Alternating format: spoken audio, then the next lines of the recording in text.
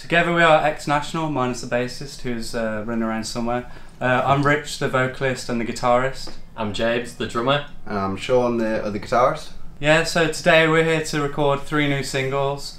We've just uh, a couple months ago released our first EP, and we've just come to make use of this like beautiful studio to record.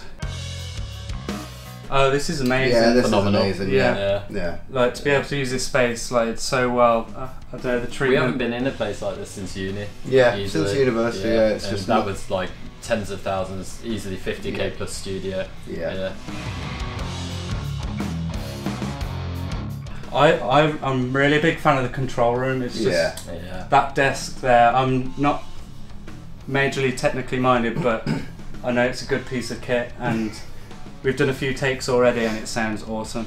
And also, I, I would say just like the craftsmanship of the way it's been Mhm. put together is is really top notch. It's really good. There's a lot of sort of like customizability with your, your bafflers and stuff here as well, for instance, uh, and just the general layout of the room. You know. hmm Yeah, it's a good live room. Very good library. Spacious.